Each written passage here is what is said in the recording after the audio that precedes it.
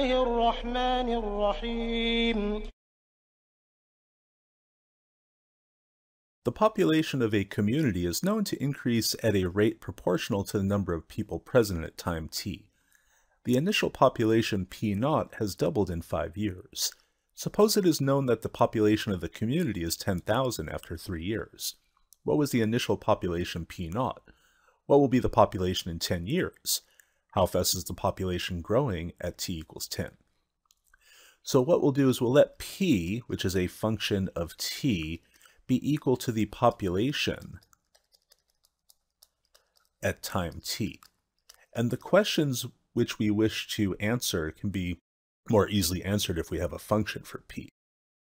Well, we are given a relationship involving the rate of increase in p. We're told that the rate of increase, which we'll call dp dt, is proportional to the number of people present at time t. So that will be equal to some constant of proportionality k times p. So this is a differential equation, and we can solve this possibly by separation of variables. So what we'll do is we'll first multiply both sides by dt. That will give us dp equals kp dt. And then we'll divide both sides by p, giving us 1 over p dp equals k dt. And now we can integrate both sides. The integral of 1 over p with respect to p will be the natural logarithm of the absolute value of p. And the integral of k with respect to t will be kt plus c. Well, this logarithm is a base e logarithm, so and then also this absolute value of p will be the same as p because p will not be 0 or negative. So we'll simply write this as p equals e to the kt plus c. So we have our function p of t, and that will be the same as e to the c times e to the kt.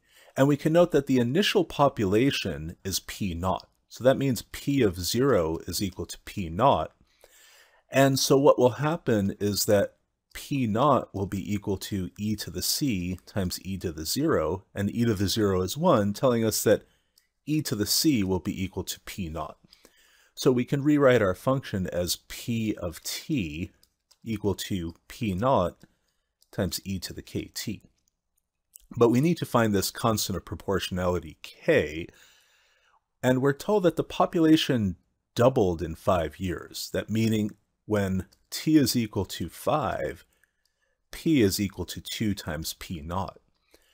So we know that p of 5 is equal to 2 times p naught, so we'll get the equation 2p naught equals p naught times e to the 5k, because t is 5. And we'll divide both sides by p naught, since p naught is not 0, and we'll get e to the 5k equal to 2. Then we can simply take the natural logarithm of both sides, and we'll get 5k equals the natural logarithm of 2, meaning that k will be the natural logarithm of 2 over 5, telling us that our function is going to become p of t equal to p naught times e to the natural logarithm of 2 over 5 times t.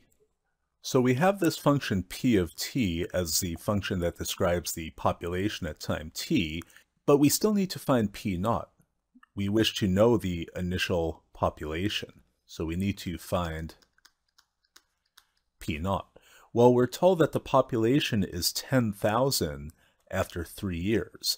That means that p of 3 is equal to 10,000.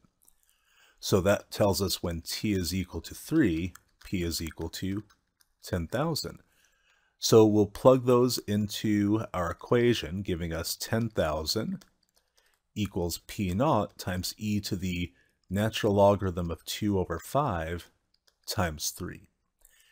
And so P naught, that's going to be equal to 10,000 divided by e to the, well, we'll have 3 times the natural logarithm of 2 over 5. When we evaluate, we'll find that P naught, that's going to be 6,597.5. So our function p of t is now going to be 6,597.5 times e to the natural logarithm of 2 over 5 times t. So we've found the initial population, and of course, this would have to be rounded down to 6,597 because we can't have half a person, but we'll keep the more precise version in our function. So we next need to know the population in 10 years. So to find the population in 10 years, we'll simply find P of 10. So that will give us 6,597.5 times e to the natural logarithm of 2 over 5 times 10. And when we evaluate that, we'll wind up with 26,390. So the population after 10 years will be 26,390. And lastly, we want to know the, how fast is the population growing at t equals 10. So how fast is the population growing at t equals 10 years? So in this case, we're going to have to find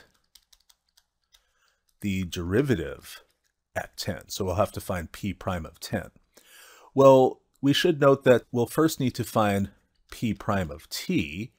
Well, that will simply be, we'll take, here we have p of t over here, we'll take the derivative of the natural logarithm of 2 over 5 times t, which will be the natural logarithm of 2 over 5, times the function 6,597.5 times e to the natural logarithm of 2 over 5 times t. So to find p prime of 10, we'll simply plug 10 into this derivative. We'll get the natural logarithm of 2 over 5 times 6,597.5 times e to the natural logarithm of 2 over 5 times 10. And when we evaluate that, we'll get approximately 3,658. And this will, of course, be people per year because t is the number of years. So in this problem, we first came up with a differential equation that we solved by separation of variables. And using the given conditions, we're able to get the exact function that we needed. And using that function, we're able to evaluate and get the population after 10 years, and we were also able to get the rate of growth of the population at 10 years.